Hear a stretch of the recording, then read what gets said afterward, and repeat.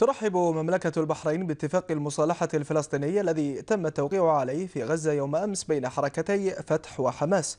وأعربت البحرين عن أملها بأن يسهم الاتفاق الذي تم التوصل إليه في إنهاء حالة الانقسام ويساعد على نيل الشعب الفلسطيني الشقيق حقوقه المشروعة كاملة غير منقوصة أسوة بغيره من شعوب العالم وفي مقدمتها التوصل إلى حل نهائي مبني على الشرعية الدولية وقرارات الأمم المتحدة ومبادرة السلام العربية وإقامة الدولة الفلسطينية المستقلة وعاصمتها القدس الشرقية. وإذ تعرب مملكة البحرين عن تضامنها ودعمها الكامل لتطلعات وآمال الشعب الفلسطيني في كل خطواته وجهوده المستمرة نحو تحقيق السلام العادل والشامل في المنطقة. تشيد عاليا بهذا الإنجاز التاريخي وبحكمة القيادة الفلسطينية التي أنهت سنوات, سنوات من الانقسام في البيت الفلسطيني.